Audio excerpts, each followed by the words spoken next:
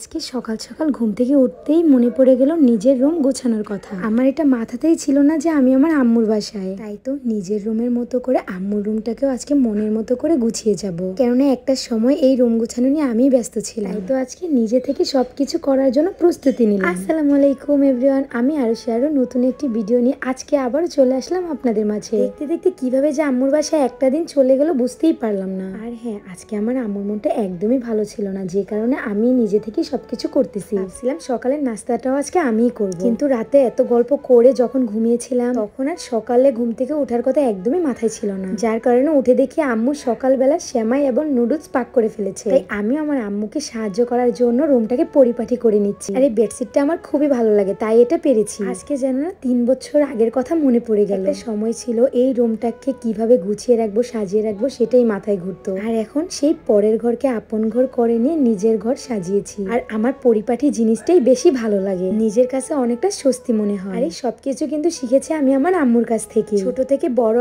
অব্দি সবসময় আমি আমার আম্মুর কাজগুলোকেই ফলো করেছি। কেননা ছোটবেলা থেকে আমার ইচ্ছে ছিল আমি আমার মায়ের মতো হব। আর এই বেডশিটের পাশাপাশি আমি কিন্তু পর্দাগুলো চেঞ্জ করে দেবো আজকে। কেননা আমি ছাড়া তো আমাদের বাসায় কোনো মেয়ে নেই বা আমার কোনো বড় ভাইয়ের বউ নেই। কিন্তু সামনাসামনি বলতে না পারলেও ভিডিওটাতে ভাইকে বলতে চাই তুমিও তাড়াতাড়ি একটা বিয়ে করে নাও তাহলে আমার আব্বু আম্মুরও একটা মেয়ে হবে আবার। যাকে পেলে হয়তো বা আমার কথা একটু কম মনে পড়বে দেন হচ্ছে ঘরটাকেও সাজিয়ে রাখতে পারবে। আর দেখুন মায়ের মেয়ে কীভাবে বারান্দায় বসে বসে আমাকে দেখছে। মাশাল্লাহ মাম্মামটাও একদিন আমার মতো হবে। আমার প্রত্যেকটা কাজগুলোকে ভাগাভাগি করে নেবে। ইনশাল্লাহ আমার মেয়ের প্রতিটা কাজেও আমি তাকে সাপোর্ট দিব। ভালো একজন মানুষ হিসেবে গড়ে তোলার জন্য যতটুকু সাধ্য আমি করব। দেখুন ব্যাকসিটটার পাশাপাশি পর্দাগুলো কতটা সুন্দর লাগছে।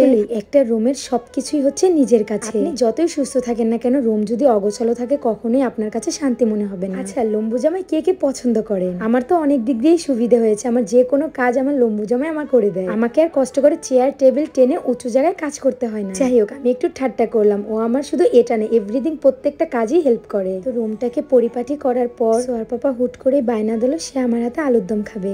আর আমার ভালোবাসার মানুষেরা হয়তো বা জানো যে আমি আলুর দমটা আসলে খুব মজা করে রান্না করতে পারি। তাই তো সব আবদার রাখার পর এই আবদারটা আর ফেলতে পারলাম না। আবারও অনেকদিন পর জামাইকে নিজের হাতে আলুর দম করে রান্না করে খাওয়ালাম কেননা মানুষটা আমার হাজার আবদার পূরণ করে সেইগুলোর কাছে তো এই একটা আবদার কিছুই না আর আম্মুর বাসায় এসে এই প্রথম আমি হয়তো বা মন দিয়ে এতগুলো কাজ করেছি। আর এত কিছু আমি বুঝতে পেরেছি মা হওয়ার পরে। আগে এরকম কিছুই লাগতো না আর এখন মায়ের এক ফোঁটা চোখের পানি দেখলে আমার জন্য কষ্টে বুকটা ফেটে যায়। সবাই আমার আব্বু আম্মুর জন্য একটু দোয়া করবে। এই মুহূর্তে আমি ছাড়া আমার আব্বু আম্মুর সাপোর্ট দেওয়ার মতো আর কেউই নেই। একটা সময় আমার সব কষ্ট তাদের সাথে শেয়ার করতাম। আর এখন এই দুইটা মানুষের আমার সাথে কষ্ট শেয়ার করা ছাড়া আর কেউই যাওয়ার সময় আমার দাদিমার কাছ থেকেও বিদায় নিয়ে নিচ্ছি। আজকে বিদায় নিতে সত্যি অনেক কষ্ট হচ্ছে। সবাই ভালো থাকবেন। আল্লাহ হাফেজ। টাটা।